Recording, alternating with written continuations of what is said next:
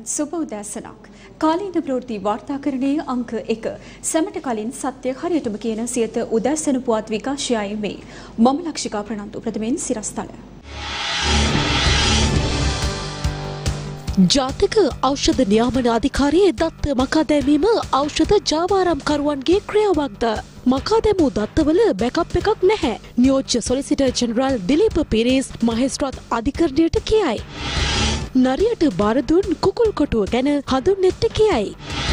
හරක් ගල් හදන්න ගොවි සෝදානමක්. පාලන මිලක් දැමුවේ අයගේ මැටිමෝල් ගොවියනි එකතු වී හදමුද හරක්ගල්. ප්‍රථමයෙන් දේශීය පුවත්. ශ්‍රී ලංකාවට පැමිණෙන සියලු දෙනාට රැපිඩ් සහ PCR පරීක්ෂණ එක සමානව සාධාරණව සිදු කළ යුතු බව විශේෂඥ වෛද්‍ය හේමන්ත හේරත් මහතා කොළඹ පැවති මාධ්‍ය හමුවකදී ප්‍රකාශ කළා. පරීක්ෂණ අඩුකට රෝගීන් අවම කිරීම බරපතල අවධානමකට අතවැනීමක් බව හිටපු පාර්ලිමේන්තු මන්ත්‍රී සමන් රත්නප්‍රිය මහතා පවසනවා. ගුවන් තොටුපළේ PCR පරීක්ෂණ සංඛ්‍යාව සහ කිරීම සම්බන්ධයෙන් ඇතිවන ප්‍රශ්නයක් රැපිඩ් PCR පරීක්ෂණ කරලා මේ ලංකාවට එන ගුවන් මගීන්ව නිදහස් කරන්න බැරිද කියලා ලංකාවට පැමිණෙන අයට මේකේ තියෙන ඵලදායීභාවය පිළිබඳව පැහැදිලි විශේෂඥ එකඟතාවයකට තාම ඇවිල්ලා නැහැ. රැපිඩ් PCR පරීක්ෂණ හරහා අවශ්‍යතා සම්පූර්ණ වුණොත් ඉදිරියේදී ක්‍රියාත්මක වෙයි කියලා දැනුම් දෙන්න කියලත් මේ අවස්ථාවේ මම සූදානම්. දැනට තියෙන ක්‍රමවේදය හරහා මගියෙක් පැමුණාම ඒ අයව අපි එයාපෝට් එකේ Eh, ඉඳලා හෝටලයක නවත්තලා ඊට පස්සේ PCR පරීක්ෂණේ කරලා ප්‍රතිඵල ආවට පස්සේ නිදහස් කරන්නේ. ඒක වෙලා තියෙන්නේ මේ රැපිඩ් පරීක්ෂණ කරන ක්‍රමවේදය ලංකාවේ තාම ප්‍රචලිත නැහැ. අවශ්‍ය කරන උපකරණ ගෙන්නන්න ඕන. ඒ වගේම ගුවන් තොටුපළට එන සියලු මගීන්ට ඒක කරනවා මිසක් අපිට එක කණ්ඩායමකට කරන්නත් තව කණ්ඩායමකට හෝටලයකට ගිහින් නවතින්න කියන්නත් බෑ. ඒක ආරම්භ කරනවා නම් ඒ ගුවන් තොටුපළට පැමිණෙන සියලු දෙනාට මේක ආයත අදාළ වෙන ලෙස කටයුතු කරන්න වෙනවා. රෝගීන් එන්න එන්න අඩු වෙන්නේ රෝග පරීක්ෂණ අඩු කරපු නිසා කියන කාරණය හරිම පැහැදිලි කාරණාවක්. මෙහෙම බොරුවක් කරලා පරීක්ෂණ අඩු කරලා රෝගීන් සොයා නොගෙන කවුද අන්දන්න ලෑස්ති වෙන්නේ? කරුණා කරලා මේ පරීක්ෂණ වැඩි කරලා ඉන්න රෝගීන් හොයාගෙන ඒ අය නිරෝධායන සහ ප්‍රතිකාර කරන ක්‍රමයකට යන්න කියලා අපි ආණ්ඩුවට කියනවා. අනිකුත් කරුණු ගැන සැලකිලිමත් නොවි මේ කොවිඩ් මර්ධනය කරන්න පුළුවන් කියලා ආණ්ඩුව හිතනවා නම් ඒක වැරද්දක්. දේශ සීමා මුර කිරීම, කියන වසා දැමීම, සංචාර කර්මාන්තය බොහොම පරිස්සම් සහගතව එක්ක මේක නතර කරන්න එහෙම නැත්නම් පරිස්සම් සහගතව කරන එක. මිනිසුන් නිතරම මුණ ගස්සන එක අඩු කරන එක හැමදේම නොකරොත් මේකෙන් ගැලවෙන්න අපිට හම්බ වෙන්නේ නැහැ. අපේ රටේ අනාරක්ෂිත කරලා මුදල් උපයන්න හදනවා නම් ඒක ආණ්ඩුවකට ගැලපෙන ක්‍රියාවක් නෙමෙයි. කවුරු හරි හිතනවා නම් ලබන ඔක්තෝබර් වෙනකොට එන්නත් ටික ගහලා ඉවර වෙලා මේ සියලු ගැටලු අද්දුටුයි නිවාරණයි ප්‍රත්‍යක්ෂයි කියලා හිතාගන්න මම හිතන්නේ ඒ තරම් මෝඩ සිතුවිල්ලක් මේ වසංගත විද්‍යාවේ නැතිව ඇති. එන්නත වසංගතය පාලනය කරන්න අත්‍යවශ්‍යයි. හැබැයි එන්නත කියන්නේ සදාකාලික අවියක් නෙවෙයි. වැක්සින් දෙකම ගත් අය ඩෙල්ටා ප්‍රභේදයට ඉතා හොඳින් මුහුණ දෙන බව කායික රෝග විශේෂඥ වෛද්‍ය ලලිත් ඒකනායක මහතා සියතට ප්‍රකාශ කළා. නමුත් ඕනෑම අයෙකු වෛරසය ගෙන යන වාහකයෙකු විය හැකි බැවින් අනිකුත් සෞඛ්‍යාරක්ෂිත ක්‍රමද අනිවාර්යෙන්ම අනුගමනය කළ යුතු බවයි ඔහු පවසන්නේ. සියත ප්‍රවෘත්තිංශය අකණ්ඩව ඔබව දැනුවත් කිරීම සඳහා ගෙනෙන විශේෂාංග පුවත දැන්. කොවිඩ් වෛරසයට ජීවත්වීමට මනුෂ්‍යයාගේ ශ්වසන පද්ධතියේ ඇති ජීවිසෛල අත්‍යවශ්‍යයි. ඉතින් අපි දන්නවා විශේෂයෙන්ම නාසයේ උඩ කොටසේ තියෙන ප්‍රදේශය. එතකොට මේ කොවිඩ් වෛරසයට මිනිස්සයා නොඑක් නොඑක් විදිහින් පහර දෙනවා. අපි දන්නවා වැක්සීන් ඒ වගේ නොඑක් නොඑක් බෙහෙත් මාර්ගයේ. ඒ වගේම තමයි කොවිඩ් වෛරසය පුළුවන් තරම් උත්සාහ ගන්නවා අපේ ප්‍රහාර වලින් බේරිලා එයාගේ එයා ජීවත් වෙන්නට ඒ වගේම වර්ගයක් බෝ කරන්නට. කොවිඩ් වෛරසය අන්වීක්ෂණයට දාලා ලොක් කරලා බැලුවොත් අපිට පේන හරියට රමුඩන් ගෙඩියක් වගේ. ඒ රමුඩන් ගෙඩිය වටේ තියෙන අර කෙඳි ස්පයික් ප්‍රෝටීන් වල හැඩතල වෙනස් කරමින් මේ කොවිඩ් වෛරසය උත්සාහ ගන්නවා අපේ ප්‍රහාර වලින් බේරීමට.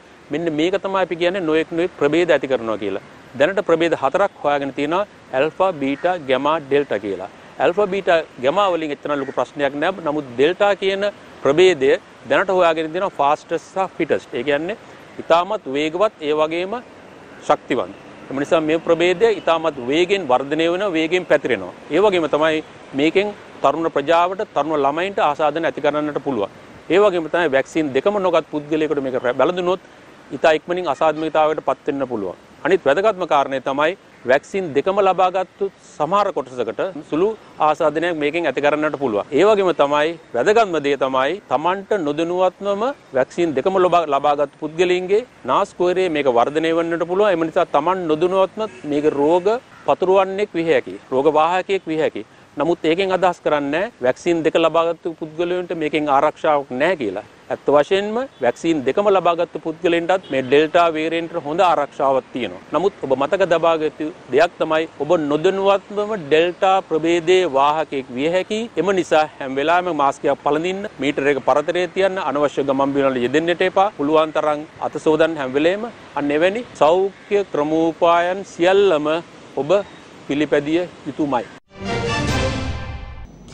ජාතික ඖෂධ නියාමන අධිකාරියේ දත්ත මකා දැමීම ඖෂධ ජාවාරම්කරුවන්ගේම ක්‍රියාවක් විය හැකි බව නීතිපතිවරයා කොළඹ මහේස්ත්‍රාත් අධිකරණය හමුවේ ප්‍රකාශ කළා. මකා දමා ඇති දත්තවල බැකප් එකක් හෙවත් දත්ත ගබඩාවක්ද නැතැයි නියෝජ්‍ය සොලිසිටර් ජෙනරාල් දිලීප පීරිස් මහතා මහේස්ත්‍රාත් අධිකරණය හමුවේ ප්‍රකාශ කර තිබෙනවා.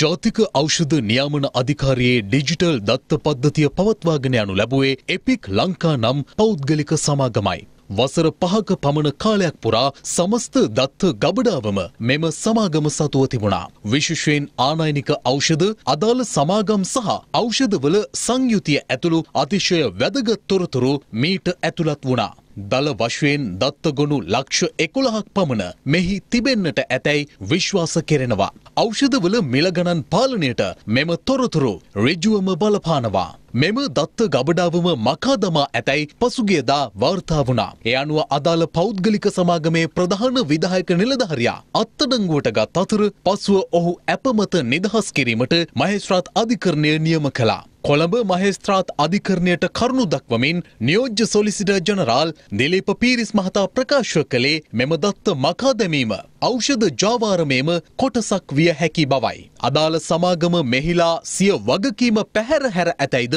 චෝදනා කළ නියෝජ්‍ය සොලිසිටර් ජනරාල්වරයා ආයතනයේ නොසලකිල්ල මීට ප්‍රධානතම හේතුව බව සඳහන් කළා. මෙම තොරතුරු වල බැකප් එකක් හෙවත් දෙවන ගබඩාවක් පවත්වාගෙන යාමටද මෙම සමාගම ක්‍රියා කර නැති බවද අධිකරණයට පෙන්වා දුන්නා. මෙනිසා ඖෂධ සමාගම් වලට හිතුමතේ ඖෂධ මිල වෙනස් කිරීමේ හැකියාව ඇතැයි නියෝජ්‍ය සොලිසිටර් ජනරාල්වරයා අධිකරණය හමුවේ ප්‍රකාශ කළා. නියෝජ්‍ය සොලිසිටර් ජනරාල්වරයා ඉල්ලා සිටියේ මෙම විත්තිකරුවන් යටතේ අදාළ දත්ත ගබඩාවේ යාවත්කාලීන කටයුතු කිරීමට අවසර නොදෙන ලෙසයි. මෙහිදී කොළඹ ප්‍රධාන මහේස්ත්‍රාත් බුද්ධික සී රාගල මහතා ප්‍රකාශ කළේ දත්ත ගබඩාව යාවත්කාලීන කිරීමේ ක්‍රියාවට අධිකරණයට මැදිහත් විය නොහැකි බවයි. යාවත්කාලීන කටයුතු සියලු දෙනාගේ සාකච්ඡාවෙන් සිදු කරන ලෙසද මහේස්ත්‍රාත් වරයා මෙහිදී නියෝග කළා. පැමිණිල්ල දෙසැම්බර් නම වනදා යළි කැඳවීමට නියමිතයි.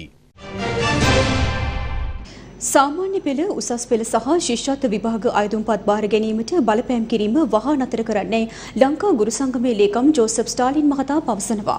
අනවශ්‍ය බලපෑම් මගින් සිදුවන්නේ අරගලය තවත් දීර්ඝ වීම බවයි ඔහු පෙන්වා දෙන්නේ. අවශ්‍ය නම් සටන වෙනුවෙන් සිය ගුරු විදුහල්පති තනතුරු අතහැරීමට වුවද සූදානම් බව පූජ්‍ය උලපනේ සුමංගල හිමියන් පවසනවා. ගුරු වැටුප් විෂමතා සංශෝධනය කරන ලෙස ඉල්ලමින් ගුරු වර්ජනය ආරම්භ කොට අදට දින 64ක් පමණ ගතව තිබෙනවා. මේ කාලය තුල ගුරුවරුන් ඔන්ලයින් අධ්‍යාපන කටයුතු වලින් සම්පූර්ණයෙන්ම ඉවත් වුණා. ගුරු ගැටලුව විසඳීම සඳහා ඇමති අනුකමිටුවක්ද පත් කෙරුණා. සියලු සාකච්ඡාවල අවසන් විසඳුම වූයේ කොටස් කිහිපයක් යටතේ ගුරු වැටුප් වැඩි කිරීමට රජය එකඟ වීමයි. එහෙත් කොටස් වශයෙන් වැටුප් වැඩිවීමට එකඟ නැති බව ගුරු සංගම් අවධාරණය කරනවා. ඔවුන් ඉල්ලන්නේ සුබෝධිනී කමිටු වාර්තා වාර්තාවේ නිර්දේශ ක්‍රියාත්මක කරන ලෙසයි. ඒ අනුව ඉදිරියේදී පැවැත්වෙන විභාග අයදුම්පත් බාර ගැනීමේ සියලු රාජකාරිවරින් ඉවත් වී සිටින බව ගුරු විදුහල්පති සංගම් පවසනවා. අනවශ්‍ය ලෙස Tamanට බලපෑම් කළහොත් අරගලිය දිග්ගැස්සෙනු ඇතැයි ගුරු සංගම් රජයට අනතුරු අඟවනවා. අපි දැක්ක ඊයේ දවසේ අධ්‍යාපන ලේකම්වරයා මාධ්‍ය වලට සඳහන් කරනවා මේක ඉල්ලීමක් මේක බලපෑමක් නෙවෙයි කියන කාරණාව. අපි අධ්‍යාපන ලේකම්වරයා එක පැත්තේ එවැනි කාරණාවක් කියන ගමන් අනිත් පැත්තෙන් ලිඛිතව බලපෑම් කරනවා ආණ්ඩුකාර අමාත්‍යවරු දාලා බලපෑම් කරනවා. කලාපද්‍යක්ෂවරු දාලා බලපෑම් කරනවා. ඉතින් අපි ඒවට සැලෙන්නේ නැහැ. අපි ඊට පැහැදිලිව තීරණයක් කරන් තියෙනවා ආයතනපත් ඉදිරිපත් නොකරන්න. ඒ වගේම අපි දන්නවා විභාග පවත්වන්න දින නියම කරලා නැහැ. කොරෝනා වසංගත තත්ත්ව තුළ පාසල් වහලා තියෙන්නේ. එතකොට මේ මොකද්ද මේක අදිස්සිය? මේක පැහැදිලිවම අපේ අරගලේ කඩාකප්පල් කරන මේ ක්‍රියාමාර්ග ගන්න මේ රටේ විදුහල්පතිවරු ශක්තිමත් ඉන්නවා මේ ක්‍රියාමාර්ගයේදී අපි පැහැදිලිවම ඔවුන් සමග අපි කටිටන් ඉන්නේ. අපි දැනුම් දීලා තියෙනවා මේක කරන්නේ නැහැ කියන කාරණාව. ඒක නිසා අපි ආණ්ඩුවට බල කරලා කියනවා මෙවැනි බලපෑම් කිරීමේ ක්‍රියාව කරන්න එපා. කරල යුත්තේ වාම සාකච්ඡා කරලා ගුරුසා විදුහල්පතිවරුන්ගේ වැටුප් ගැටලුවට විසඳුමක් ලබා දෙන්න එක තමයි කරන්න ඕනේ. අවශ්‍ය නම් සටන වෙනුවෙන් සිය ගුරු විදුහල්පති තනතුරු අතහැරීමට වුවද සූදානම් බව පූජ්‍ය උලපනේ සුමංගල හිමියන් පවසනවා. අපි හෙට දවසේදී මේ අරගලය වෙනුවෙන් මේ අරගලයට සාධාරණ විසඳුමක් වෙනුවෙන් අපේ වෘද්ධිහල්පති තනතුරු අත්හරින්නට අපි තීරණය කරනවා. අපි බලනවා ආණ්ඩුව ඊට පස්සේ අනිත් සොකඩ ආයතන පාලනය කරනවා වගේ පාසල් පද්ධතියත් පෑන්සන් ගියපු මේජර් ජෙනරල්ලා දාලා බ්‍රිගේඩියර්ලා දාලා මේජර්ලා දාලා කොරගන්න පුළුවන්ද කියන අභියෝගය අපි ආණ්ඩුවට මේ අවස්ථාවේදී. අද කරු අධ්‍යාපන අමාත්‍ය දිනේශ් ගුණවර්ධන මැතිතුමා සමග අප සංගමේ සහ තවත් සංගම් ගණනාවක් සාකච්ඡා කළා. දැනට ඇමතුමා සඳහන් කළා ලංකාවේම ගුරුවරු 18000ක් පමණ විතරයි වැක්සින් එක ගහලා නැත්තේ. ඒකත් විසිරීලා තියෙන එක ප්‍රදේශයක නෙවෙයි විසිරිච්ච තත්ත්වයක් තියෙන්නේ. මේ තුල මේ 18ත් ගහලා ඉක්මනින්ම පාසල් ආරම්භ කිරීමට දැනටමත් තීරණය කරලා තියෙනවා. එතකොට අපිට දැනගන්න පුළුවන් ඉන්න අය ආවාවේ නැති අය නිකන් හිටපු ආවේ. මං හිතන්නේ ගුරුවරු මේ වෙලාවේ තමන්ගේ අයිතිවාසිකම් වගේම දරුවන්ගේ අයිතිවාසිකම් වෙනුවෙනුත් පෙනී ඉන්න ඕනේ. මේ අතර අධ්‍යාපන අමාත්‍යංශයේ ලේකම් කපිල පෙරේරා මහතා අද ගැටබේ රාජෝප වනාරාමාධිපති පූජ්‍ය කැප්පෙටියාගොඩ සිරිවිමල නාහිමියන් බැහැදුටුවා. මෙහිදී ගුරු වැටුප් ගැටලුව ඇතුළු අධ්‍යාපන ක්ෂේත්‍රයේ පවතින විවිධ ප්‍රශ්න පිළිබඳව ලේකම්වරයා නායක හිමියන් දැනුවත් කළා.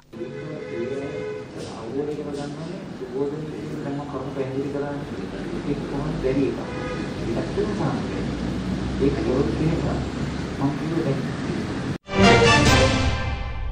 නරියට කුකුල් කොටුව බාර දී ඇති බව ජනතා විමුක්ති පෙරමුණේ හිටපු පාර්ලිමේන්තු මන්ත්‍රී සුනිල් හඳුන්නෙත්ති මහතා පවසනවා. පුද්ගල නාමවලට ආර්ථිකය ගොඩ ගැනීමට නොහැකි බවයි එක්සත් ජාතික පක්ෂ සභාපති වජිරා බේවර්ධන මහතා පවසන්නේ. දැන් දේශපාලන වේදිකාවෙන් ඇසුණු කතා. රජයකට තියෙන්න ඕන මූලික දේශීය හා විදේශීය දර්ශනයක්. ඒ දර්ශනය ඔස්සේ තමයි ආර්ථිකය හසුරවන්න පුළුවන්. ඒ දර්ශනයක් නොමැති තැන පුජ්‍යලයන් කවුරු පත් වුණත් ABCD කවුරු පත් වුණත් දැන් තියෙන තත්ත්වය අනුව මේ රජය ගොඩ ගන්න පුළුවන් කමක් නැහැ. දේශපාලනඥයෙක් මේකට එනවා නම් එතන අනිවාර්යයෙන්ම මහ බැංකුවේ ස්වාධීනත්වයට බරපතල හානියක් සිද්ධ වෙනවා. මේ වෙලාවේ රට ආර්ථික වශයෙන් අර්බුදයකට ගිහිල්ලා ඉන්න වෙලාවක කවුරු හරි කියනවා නම් ඔහුගේ පළපුරුද්ද ප්‍රයෝජනට ගන්න මේ ගෙන්න ගන්නවා කියලා අපට කියන්න තියෙන්නේ නරියට කුකුල් කූඩුව බාර දුන්නා වගේ වැඩක් තමයි අජිත් නිවාඩ් කබ්ඩාල්ට මහ බැංකුව බාර දෙන එක.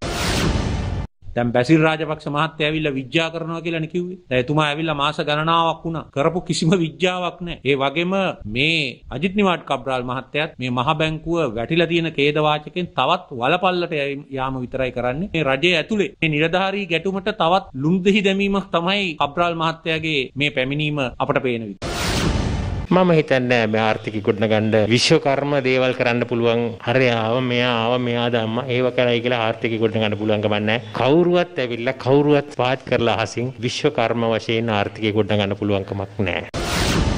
කබ්‍රාල් මහත්තය ගිහිල්ලා ග්‍රීසිය බැඳුම් කරවල ආයෝජනය කළා. අපේ රටට බිලියන 2100ක පාඩුවක් ලබනවා. අපට සිද්ධ වෙන එතුමාගේ අනුදැනුම් මත ගහපු ඒ හෙජින් ගිවිසුම නිසා ඩොලර් 110කට තෙල් මිලදී ගන්න. 2015ට කලින් මහ බැංකුවේ සිද්ධ වෙච්ච බැඳුම් කර වංචා ගැන ඕවාරික විගණන වාර්තාව සඳහන් කරලා තියෙනවා. ඒ නිසා අපි කියනවා මේ කබ්‍රාල් මහත්තයා නැවත මහ බැංකුව අධිපති පුටුවේ වාඩි වෙන්නේ නැවත මහා ඛේද වාචකයකට රට ඇදලා දාන්න ඒ දේශපාලන බලපෑම් මත මෙවැනි පුද්ගලයෙක්ගේ පත්වීම ආවහම මහ බැංකුව තනිකරම දේශපාලනීකරණය වෙනවා. ආර්ථිකයේ මේ වගේ අස්ථාවර වෙලා තියෙන මොහොතක මේ වගේ ගොන් වැඩ කරන්න එපා කියලා අපි ඉල්ලීමක් කරන්න කැමතියි. ජනතාව ආණ්ඩුවට තුනෙන් දෙකක බලයක් ලබා දුන්නේ ජනතා සහන උදෙසා බව පාර්ලිමේන්තු මන්ත්‍රී තිස්ස අත්තනායක මහතා පවසනවා. ඒ කොළඹ පැවති මාධ්‍ය හමුවකදී. පහුගිය සතියේ සීනි තියෙන හැම තැනක්ම වැටලුවානේ. සීනි රුපියල් 85ට විකුණන්න ගෙනෙන්නට ආණ්ඩුව බදු සහන දීලා ඒ සීනි ටිකම සතොසෙන් මිලදී ගන්නවා. ඒ අදාළ ගෙන්නපු ව්‍යාපාරිකයන්ගෙන්ම කිලෝ එකක් රුපියල් 116 ගානේ. 85ට විකුණන්න ගෙනාපු සීනි තොගය 116ට සීනි කිලෝ එකක් විකිණීම හරහා ඒ ව්‍යාපාරිකයන්ට අමතර ලාභය කොච්චර දුන්නද කියලා බලන්න. ඊයේ දවසේ මම නාරාහෙම්පිට පොළට ගිහිල්ලා සීනි කිලෝ එකක් මිලදී ගත්තා. මේ සීනි කිලෝ එක මිලදී ගන්නම මේකේ ගහලම තියෙන රුපියල් 170යි. මේක විවෘත වෙළඳපොළට ගේන්න පුළුවන් වෙන මොකද රුපියල් 85ට ගෙනාපු සීනි මේවා. මේ පිටි කිලෝ එකක් රුපියල් 145යි. ආණ්ඩුව කියන්නේ කීයද? රුපියල් 97යි කියලා. පරිප්පු කිලෝ එකක් කීයද? 270යි. කෝ අත්‍යවශ්‍ය සේවා කොමසාරිස් කෙනෙක් පත් කරලා හදිස්සි නීතිය යොදවලා භාණ්ඩ මිල පාලනය කරලා පාරිභෝගිකයන්ට යහපතක් සලසනවායි කිව්වම කෝ බැඳිහත් වීම. අපි අහන්නේ මේක පාලනය කරන්න තමයි මේ ආණ්ඩුවට රටේ ජනතාව බලය දුන්නේ. රට තුළ බාණ්ඩ හිඟයක් මවාපෑමට ඇතමුන් උත්සාහ කරන බව අමාත්‍ය ගාමිණී ලොකුගේ මහතා පවසනවා. ඒ කොළඹ පැවති මාධ්‍ය හමුවකට එක් වෙමින්. දැන් පහුගිය දවස්වල හාල් අර්බුදේ. ජනාධිපතිතුමා කල්පනා කරේ නැහැ මේ ලොකු හොල්මියෝ කවුද කියලා. බොහොම අවස්ථා සාකච්ඡා කළ උත්සාහ කරා. බැරිම තැන එතුමා තීන්දුවක් ගත්තා ආදිසි නීතිය යටතේ හාල් පවරගෙන අපේ වෙළඳ පොළට නිකුත් කරන්න. ඒ නිසා අද මේ මොහොත වෙනකොට වෙළඳ පොලේ පාලන මිලට හාල් තියෙනවා. විශේෂයෙන්ම සුපර් මාකට් වල සතස ආයතනයේ විවිධ තැන්වල තියෙනවා. ඉතින් විවිධාකාරයේ බඩු හිඟයක් මාන විවිධාකාර එකම අපේ රටටත් අනික් රටවල් වල වගේම විදේශ විනිමය විශාල ප්‍රශ්නයක් තියෙනවා. ඒ විශේෂ විනිමය ප්‍රශ්නෙට මුහුණ දීගෙන තමයි මේ කටයුතු කරන්නේ. දැන් අපි මේ අයවැය ලේඛන ඉදිරිපත් කරනකොට මම දන්න තරමින් අපේ මුදල් ඇමතුමත් රජයත් කටයුතු කරන්නේ කොහොමද ගමට ශක්තිමත් ආර්ථිකයක් ගොඩනගන වැඩපිළිවෙලක් ගෙනියන්නේ කියලා. හැම්බේකන් කකා ජොලිපිට නටන හාල්වලට පාලන මිලක් දැමූ වැටිමෝල් තීරණ ගැන මාදුරුවය මිටියාවත සුරකීමේ ගොවි ව්‍යාපාරය කතා කළා. ගොවි සංවිධානයේ සභාපති ජයසිංහ බණ්ඩාර මහතා පවසන්නේ ඉදිරි කන්නේ සිට වීමිල ඉහළ දැමුවේ නැත්නම් ඒ වෙනුවට හරක් ගාල් පවත්වාගෙන යාමට සිදුවන බවයි.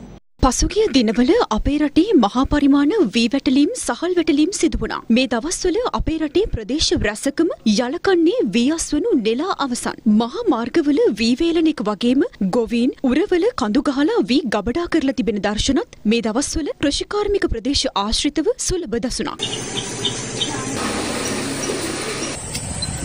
මෙලෙස ගෙට ගන්න වී අස්වැන්නට නිසි මිලක් නොලැබීම ගැන මැසිවිලි නගන ගොවීන් පිරිසක් ගැන අප ඊයේ දිනත් අපේ ප්‍රෘති විකාශයෙන් තොරතුරු ගෙනවා. මෙලෙස වී අස්වැන්නට නිසි මිලක් නොලැබීම ගැන අදත් ගොවීන් සිය දුක මාධ්‍යයට කිව්වා. රටේ සම්මත වී අස්වැන්න තියෙන හෙක්ටයාරයකට මෙට්‍රික් ටන් හතරමාරයි. නමුත් අපි පහක් කියලා ගත්තොත් එimhe පහේ මෙට්‍රික් ටන් එකක් අද තමන්ගේ පරිභෝජන තියාගත්තත් මෙට්‍රික් ටන් හතරක් විකුණා කියන්නේ කිලෝ 4000ක් අපි රුපියල් 60ට වික්කත් අපිට හැම 240000යි. නිෂ්පාදන වියදම 120000ක් ගියොත් ඒ 120000 තුල අපිට ඉතුරු වෙන්නේ තව 120000යි. ඒ 120000 මාසයකට බෙදුවොත් මාසෙක රුපියල් 20000යි වැටෙන්නේ. තමන්ගේ අමුදරුව පෝෂණය කරන්න ලෙඩට දුකට මරණයට මගුලට මේවා වියදම් කරන්න ඕන. රජය තේරුම් ගන්න ඕන. ගොවියා මෙන්න මේ தත්ත්වේ කොහොමද මුහුණ දෙන්නේ කියන එක. කවදාවත් ගොවියා වැඩි පඩි වැටුප් වර්ධක ඉල්ලන්නේ නැතුව නිහඬ සේවයක් මේ රටට සපයන ගොවියෙක්. අපි මෙතෙක් කාලයක් ඉල්ලුවේ සහතික මිලක්. සහතික මිල ඉල්ලුවේ සහතික මිලේ පල්ලෙහාට වී ගන්න බෑ කියලා. ලංකාවේ පළවෙනි වතාවට පාලන මිලක් දාලා ගොවියා හිර කරලා තියෙනවා. නාඩු වල රුපියල් 65කුත් සම්භාවයට රුපියල් 75කුත් දුන්නොත්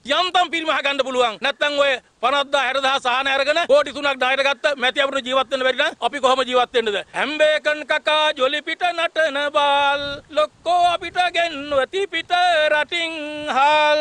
පාලන මිලක් දැමුවේ අයගේ මැටි මොල්. ගොවියනි එකතු වී හදමු දහරක් ගාල් මැතිවරු ඇමතිවරු පඹයෙන් සමානයි. මහජන මතය සුලි සුළඟින් ගසායයි. ගොවියා වඳ වුණොත් මුළු රට විනාසයි ගොවි දුක අසන්නට මෙතරම් පමායි ශ්‍රී ලංකා වරායට අයත් අක්කර 13ක භූමිය චීන සමාගමකට ලබා දීමට එරෙහිව දෙවි හිමියෙන් සටන් කරන බව වෘත්තීය සමිති ඒකාබද්ධ සංවිධානය මාධ්‍ය හමුවක් ඇඳවමින් ප්‍රකාශ කළා. රටට ආදායම් ලබාගත හැකි දේපල කුණුකොල්ලේට විදේශ සමාගම් වලට විකිණීම ජාතික අපරාධයක් බවයි වෘත්තීය සමිති නායකයින් පෙන්වා දෙන්නේ. අපිට දැන් ඇවිල්ලා තියෙන අලුත්ම අනතුර තමයි අපේ අක්කර 13ක බිම් කඩක් චීනයේ CICT සමාගමට පවරන්න කැබිනට් පත්‍රිකාවක් ඉදිරිපත් කරලා තියෙනවා. මේගොල්ලෝ මේක දෙන්න යන්නේ අවුරුදු 35කට ඇමරිකන් ඩොලර් මිලියන 150කට මුදලකට ඒ වගේම වාර්ෂිකව මේ බිම් තීරුවෙන් අක්කරයකට ලැබෙන එක දැනට ලැබිලා තියෙන ආරංචි මාර්ග අනුව රුපියල් ලක්ෂ 8යි අපිට ලැබෙන්නේ. දැන් අපේ සේවා සැපුම් කොට්ටාසෙන් අපි වාර්ෂිකව ඇමරිකන් ඩොලර් මිලියන 100කට ආසන්න මුදලක් උපයනවා. හැබැයි දැන් අපිට පේන්නේ තුට්ටු දෙකට චීනයේ CICT සමාගමට විකුණන්න යන්නේ. මේක ලස්සනම කතාව තියෙන්නේ වරාය අධිකාරියේ මීට පෙර සිමෙන්ති සමාගම් වලට අක්කරයේ පර්චස් 11ක් දීලා තියෙන්නේ රුපියල් මිලියන 925ක මූලික ගාස්තුවක් අය කරගෙන. මෙතන ලස්සන කතාව තියෙන්නේ අක්කර 13ක් දෙන්නේ 7.5ක මූලික ගාස්තුවක් නැතුව මාසික කුලිය වෙන්නේ ලක්ෂ 8මාරයි. මේවා යටිමාඩි ගහලා මේ සල්ලි අරන් ගිහිල්ලා කවදා හරි කාගේ හරි ආච්චි කෙනෙක්ගේ මැණික් මල්ලෙන් මේවා මතුවෙනවා. මේ පාපයට කරගහන්න එපා. බැසිල් රාජපක්ෂ මහත්තයා පහුගිය දවස්වල පාර්ලිමේන්තුවට ඇවිල්ලා කියනවා අපිට පටිතද කරගන්න කියලා මේ රටේ ජනතාවට. ඉතින් පටිතද කරගන්නේ මොකටද මේ ඩොලර් වෙන මාර්ග අපි අහිමි කරගන්නේ. මේවා දෙන එක දෙනකොටනේ අපිට ඩොලර් නැති වෙන්නේ. ඉතින් මේ අපිට ඩොලර් වෙන ව්‍යාපාර ටික අපි අත්හරින්නේ ඇයි කියන එක තමයි අපි මේ රටේ ජනතාවට අපි කියන්නේ මෙන්න මේවට ඉඩ දෙන්න එපා කියලා. අපි තවදුරටත් විවසන්න සූදානම් නැහැ. මේක තවදුරටත් උස්සන්න කරනවා නම් ඒගොල්ලන්ගේ පැත්තෙන් අපිට කොවිඩ් නෙමෙයි අපේ ජීවිත උනත් මේ වරාය රැක ගැනීම සටන වෙනුවෙන් අපිට දෙන්න අපි පසුබට වෙන්නේ නැහැ කියන කාරණේ කියන්න කැමති මේවා ආරක්ෂා කර ගැනීම වෙනුවෙන්. පාස්කු ප්‍රහාරයට සම්බන්ධ විත්තිකරුවන් විසි පස් දෙනෙකුට එරෙහිව ගොනු කර ඇති නඩුව ඔක්තෝබර් මස හතරවනදා කැඳවන ලෙස කොළඹ ත්‍රිපුද්ගල මහාධිකරණ විනිසුරු මඩුල්ල නියෝග කළා. විත්තිකරුවන්ට එරෙහිව ගොනු කර තිබෙන අධිචෝදනා පත්‍ර බාර දෙන ලෙසද අධිකරණය නියෝග කර තිබෙනවා. පාස්කු ඉරුදින කිතුුණු දේවස්ථාන සහ සංචාරක හෝටල් ඉලක්ක කරගනිමින් එල්ල කළ ත්‍රස්ත ප්‍රහාර සිද්ධියට සම්බන්ධ විත්තිකරුවන් විසිපස් දෙනෙකුට එරෙහිව ගොනුකර තිබෙන නඩුව ඔක්තෝම්බර් මස හතරවනදා කැඳවන ලෙස කොළඹ ත්‍රිපුද්ගල මහධිකරණ විනිසුරු මඩුල්ල නියෝග කර තිබෙනවා. දමිත් තොටවත්ත අමල් රණරාජා සහ නවරත්න මාරසිංහ යන මහාධිකරණ විනිසුරුවරුන්ගෙන් සමන්විත ත්‍රිපුද්ගල විනිසුරු මඩුල්ල විසින් මෙම නියෝගය කර තිබෙනවා. මේ බව දන්වා බන්ධනාගාර ගතව සිටින අදාළ නඩුවේ විත්තිකරුවන් වෙත සිතාසි නිකුත් කරන ලෙසද ත්‍රිපුද්ගල විනිසුරු මඩුල්ල විසින් කරනු ලැබූ නියෝගයේ සඳහන්. එදින විත්තිකරුවන්ට එරෙහිව ගොනු කර තිබෙන අධිචෝදනා පත්‍ර ඔවුන් වෙත බහර දීමට නියමිතයි. මහත් ආන්දෝලනයකට තුඩුදුන් ජාතික වැදගත්කමක් සහිත මෙම නඩුකරය විභාග කිරීම සඳහා ජූරි සභාවක් නොමැතිව ත්‍රිපුද්ගල මහාධිකරණ විනිසුරු මඩුලක් නම් කරන ලෙස අපරාධ නඩු විධාන සංග්‍රහය යටතේ නීතිපති සංජය රාජරත්න මහතා විසින් කරන ලද ඉල්ලීමකට අනුව අගවිනිසුරුවරයා විසින් මෙම ත්‍රිපුද්ගල විනිසුරු මඩුල්ල නම් කර තිබෙනවා. පාස්කු ඉරුදින ත්‍රස්ත ත්‍රස්ත ප්‍රහාරය කුමන්ත්‍රණය කිරීම ආධාර අනුබල දීම ඇතුළු චෝදනා විසිතුන්දස් දෙසිය හැත්තෑවක් යටතේ නවෆර් මෞලවේ සජිඩ් මෞලවේ මොහොමඩ් මිල්හාන් සාදික් අබ්දුල්ලා ආදම් ලෙබ්බේ අලියස් ගෞපර්මාමා මොහොමඩ් සනස්දීන් සහ මොහොමඩ් රිස්වාන් ඇතුළු සැකකරුවන් විසිපස් දෙනා වෙත මෙලෙස චෝදනා එල්ල කර තිබෙනවා. පාස්කු ඉරිදින ත්‍රස්ත ප්‍රහාරය පිළිබඳව ප්‍රමාණවත් බුද්ධි තොරතුරු ලැබී තිබියදීත් එය බලක්වා ගැනීමට ක්‍රියා නොකිරීම තුළින් සාපරාදී මිනීමැරුම් සිදු කළ බවට චෝදනා කරමින් හිටපු ආරක්ෂක ලේකම් හේම සිරි ප්‍රනාන්දු සහ හිටපු පොලිස්පති පෝජිත් ජයසුන්දර යන මහත්වරුන්ට එරෙහිව දැනටමත් නීතිපතිවරයා විසින් ත්‍රිපුද්ගල මහාධිකරණ විනිසුරු මඩුල්ලක් ඉදිරියේ තවත් නඩු දෙකක් ගොනු කර පවරා තිබෙනවා. උදැසන පුවත් විකාශය අවසන් ඔබට සුබ දවසක්. දිනපතා අලුත් වීඩියෝ සහ ප්‍රවෘත්ති නැරඹීමට ඉහත බටන එක ක්ලික් කර සියත TV සබස්ක්‍රයිබ් කරන්න.